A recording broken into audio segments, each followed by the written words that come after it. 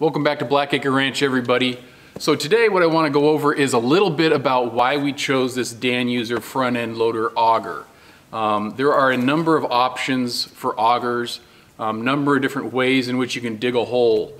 Um, we want to cover a little bit about today because I've used most all of these now in our experiences, why we ended up with the Danuser, um, and how that compares to just the other types. Um, from the post hole digger, a three point hitch, a one man or two man gas powered guy, to even just this tractor mounted one here. So I want to cover those different types, some of the advantages, the annoyances, the goods, the bads, the uglies um, of what we found when we've used them and how we ended up with this one. So let's kind of get started and go through these one by one and see where it leads us and why I would use one versus the other even now that I have almost all of these types. So let's get started.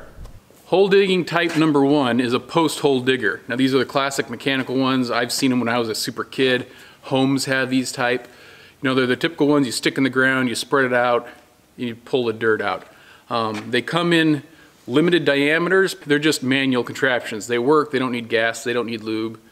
Um, pretty much they're just there. So they are the cheapest. I, you know, I don't know if it was like 60 bucks or 70 bucks that I got ours. Um, you know, they're not too expensive, but they come in different styles. You got shovel ones that kind of pull a lever. You've got all different types. The basic point is the same. You manually stick it in the ground and you open it and you move your dirt. Um, we used these when we did the original pig fence and our posts were only four inch posts, I believe, four inch diameter posts. We were only going so far um, into the ground. And so we just used that the entire time. And we set about 13 posts. I don't think it took too long, but it was, you know, took a day to get all the posts set up. Um, and was a couple of us working, um, things of that nature. So I would use this, and I found this useful if my posts are generally small, that they fit within the diameter of the actual uh, post hole digger. Two, if the dirt isn't super hard, if it's fairly easy to go through, it's fine. And third, third, if I'm not going super deep. The further you go in a hole, especially just the size of the diameter, you can only spread so far. So about when we started hitting two and a half feet, when you're hitting 30 inches, you're starting to really push how much you can get open. Um, and so, you know, you got to kind of look at those situations. Would I use it now? I would still use one now, only if I was in fairly movable soil and if it was just like one post, maybe two, depending on the soil and the depth. So that's when I would use it. I'd say if that's all you got to do is a couple holes, go for it. It's not that bad, it's cheap, get it done. Post hole digging option number two is doing a gas powered auger. Now we've used this a lot especially when we started doing our pasture fences. Um, this is pretty handy. It's pretty cheap. You know, something like this, gosh, I'm trying to remember, I don't know, a couple hundred bucks, something like that. We picked it up from like Tractor Supply or Northern Tool or something along those lines. Um, they've got an auger. Now, they, they have different bits, sizes that you can put. Ours, I believe, is a six inch because um, our posts that we're putting in at the time for the, the pasture was only five inch posts. Um, so I went with a six inch. You can get them bigger. Now they come one man augers where you're sitting there and you're just doing this all by yourself. You have two man augers, which you have two people holding it. It could be even better. Um, so this was really useful on a larger scale than the post hole digger. Okay. Now some of the things that I didn't like about this one is it's only got so much of a depth. And when we were using this out in the pasture, we could only get to really, gosh, 32 inches, maybe 36 if we're pushing it, and that's burying this sucker deep. Um, and, and so, you know, if that's deep enough for you on a typical cattle fence, they're only going to be five feet above ground, three feet below. You're almost there at the depth. So maybe that's not such a bad idea. Um, ours is a little bit different. I'll talk to you a little bit about that later. So we could go pretty far. Um, the struggle I had with it is, gosh, it it starts to wear the beat on your arms and so forth, going and picking it up from the bottom if it gets suctioned in there. Um, it only goes one direction. And so you've got to just manually do it. The most we did in one day through our doing our posts with this guy is, I think it was 16 or 18 posts, but we went about 42 to 46 inches down typically. But um, you still probably have to have a post hole digger with this. Um, it works, it's fine, but you can get through more difficult soils, but if you catch a rock or if you catch a root it's not gonna go through, it will just jerk your arms and my, my elbows, I swear, were sore probably from two months doing all these different holes around this area. So option number two, if you're doing more than just a hole or two, it is a little bit more robust to go through some extra dirt. But on a large scale, if you're trying to do 20 or more a day, you know, it, it can be a beat down. A little bit more expensive, might be worth it for five to 10 holes. You know, I would still keep it. I would still use it. Again, depending on what kind of posts and how deep I'm gonna go in the soil conditions. Option number three. This is the three-point mounted auger that goes on the back of a tractor. So anybody who's probably out there doing pasture fences, uh, maybe on a larger scale, um, will be using this option. Now these attach to the back of the tractor and specifically to the PTO, which is the power takeoff. Um, it's a shaft down here that just rotates right off the drive line and it goes at a set speed, it goes at a set direction. Um, these are a little bit more expensive, but they're probably twice to three times as much as the single gas powered ones. Um, but it's pretty customary for people to use this and this is the most common type at the beginning, this is all I thought was the option, right? After you get past the one man and the post hole digger, I thought, well, if you have a tractor, this is all you do. So these are nice because they're still fairly economically cheap, and I think that's why most people use them. So out of this list, this is actually the only one I have not purchased. And I don't know if I really intend to purchase it now that I have the Danuser. So why did I not purchase this one, a three-point mounted auger, and just go straight up to the Danuser? And here's a couple reasons why. For one, this sits on the back of the tractor. If I'm on the back of the tractor and I'm trying to use this three-point mount sitting back here and I'm trying to line it all up, this is my position. I am continually looking backwards in my seat the entire time. Operating it, I use the three-point mounted levers here and I have to continually be looking backwards.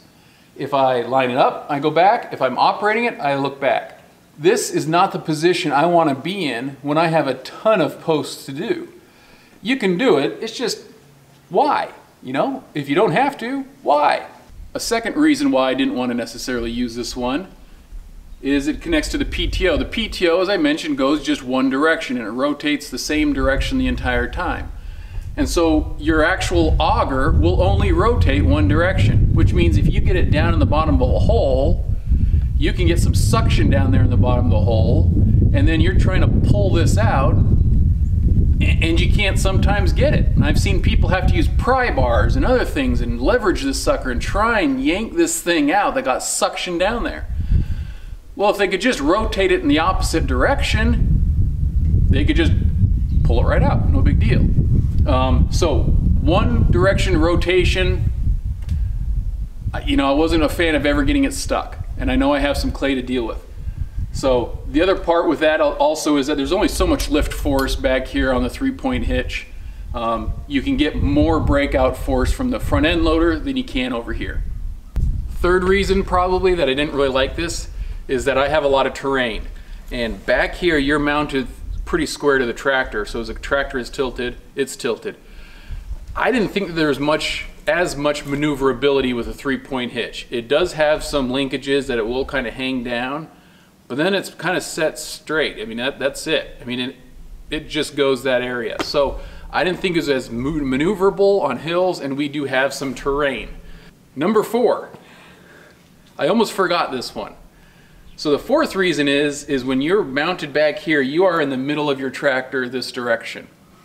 And so when you're going up to do a fence line, um, you are probably about three feet distance off the fence line if you're horizontal, like parallel with it. So you have to swing your tractor to get the butt end facing the actual fence.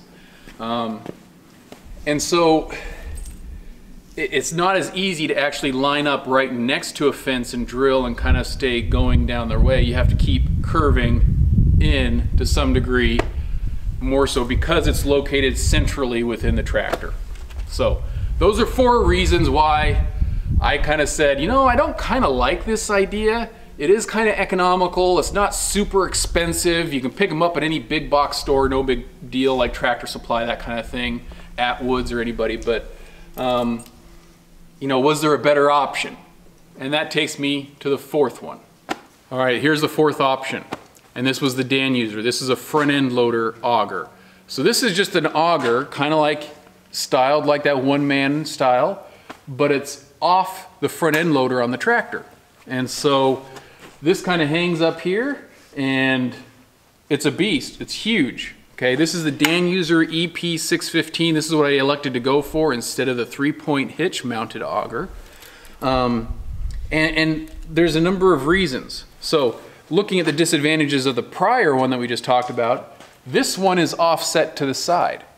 I'm standing in the center of the tractor in the front end loader, and this is off to my right. You can see it's right about here with equal with the wheels. Um, this allows me the ability to get up closer to the fence and not have to turn so much to get into every single post hole. So being offset has been really handy to actually get into some of these things as we've been doing these lines. I don't have to spend so much time maneuvering along with that same idea, a beauty of this as well is that I'm sitting forward. I can see everything in front of me, proper position in a chair, and I can just do everything. I don't have to be turned around looking backwards the entire time. Another reason that this thing is nice is because being offset, I can just tilt and look between the, the hood and the front end loader arm here, and I can see straight to the ground. If this was put right dead center, it would be a lot more difficult to actually see where this is contacting the ground. So being offset has its advantages, and I like that. And the fact that it's here, I can just look straight forward and do everything. Another plus that comes along with this is the fact that it's as big as it is. This is able to reach depths that are been, I've been able to get down 48 inches. Now admittedly the dirt's coming up here, you can see the remnants of dirt sitting up here and I'll dig this, but that's the pile that builds up outside the hole that I'm pushing down in. But I can get 48 inches down and not have to really do much with any kind of post hole auger or anything else like that. This is a nine inch and this has been great, nine inch auger and it's just 48 inches. Something else that's an advantage I think of having this is on the front end loader, you have the downforce you're able to put from the front end. So if you're in a place where there's like iron lignite or something that's going through that's going to take a little bit more, you actually have the ability to put a lot of downforce, which you don't see with a three-point hitch. You can't put a ton of downforce with it. Also, you have the ability to lift it up and get it out of a hole at the same time as being able to go backwards and rotate. And the reason that happens, and that's because we have these third function valves. These valves here have an inlet and a forward and a backwards. So with my third function remote, I'm able to go various different directions. I'm able to back it out of a hole if it's too much. But either way, these arms here are able to put a lot of force to pull it out. In fact, when I was doing one of these holes, I got into a bunch of clay. I pulled the thing out after I got down pretty far and the back end went woof, lifted up and I was afraid actually I was gonna flip at one point. So you can pull up a lot and you can push down a lot and you have that ability with a front end loader mounted auger like Danuser has, as opposed to a three-point hitch. Another thing that I liked about this also is that you have the, the functionality of your front end here. This will tilt, and when this tilts, it changes the angle of the front end or of the actual auger unit. So when I'm going down a hole and I'm arcing down and it's coming back, it's changing the position of the actual auger. Um, but merely by just rotating up here, I'm able to tilt out further the head and stay more straight. And I don't have to drive forward, drive backwards. I can affect the tilt by just tilting the front end, whatever you call this front section here, and that helps position which makes it a lot easier that I'm not having to do short movements all the time. Okay guys, this is just some of the reasons why we chose a Danuser. We can get really low down, a lot of depth. I can sit straight forward. I have good visibility because it's offset to the right. I can also get close to the fence lines without having to maneuver my tractor so much into that and pull back out. Um, I can go different directions. I have a lot of downforce. I have a lot of upforce. I have, there's just a lot of advantages of Danuser. Now, I'm not paid to do this, all right? I'm getting not sponsored in any way, but I do know the phone number of the guy who probably owns the company, and if you happen to watch and you do want a little bit of sponsorship going on here, I'm totally accepting of that. So, anyway, you know, I'm here just to kind of give you my honest opinion, and if it sucked, honestly, I'd tell you it sucked. So, the one-man auger, that sucks, all right? This, part of the reason we invested in this, it is more expensive. Um, gosh, this is they work through dealers and the dealer pricing can vary, but this is at least four or five times the cost of just a three-point mounted auger. Um, but the reason partly I'm investing in this is I do have sections where it's hard soil. I have to go really deep, you know, trying to get 48 inches down, and I've got a buttload of posts to put in. Like, oh my gosh, I will be doing this forever. In fact, if you watch my channel, You'll probably see me put in a lot of posts, but I have miles and miles of posts. So I could either invest in paying some guy to do the stuff before, which that ain't happening, or I can invest in something that makes it really simple, and that's where I got this. So that's why we got it. So if you're asking the question about what kind of post hole digging options you have, those are four of them. You've got your post hole digger, you've got your one-man gas-powered or two-man gas-powered unit, which chucks you around a lot. You've got a three-point hitch mounted auger, and then you've got a front-end loader auger like this, which is the most expensive. Do what you need to do for your budget, okay? Look at the scale of your project, how deep you have to go, what size post you're using. All of these things influence what you can afford and what, what makes sense. This makes sense for us because we have an enormous amount of posts to put in and we've got to go deep because we're, we're going to be holding bison. The fences are taller, the fences are stronger. As I told you with, a, with that one-man auger, the most we did in one day was I think 16 or 18 posts. We did with this, in two days we put in 75 posts. I didn't have any sore muscles. I think my wrist was a little bit sore just, but, but you know, whatever, right? So this is why we got it, right? Do what you can with what you got, make do, but give it some thought. I don't see these advertised a lot. I had to do some research and all of a sudden just found that it existed. We're happy with it. Hopefully you're gonna be happy with whatever you choose, but uh, make good choices. All right, catch you guys later.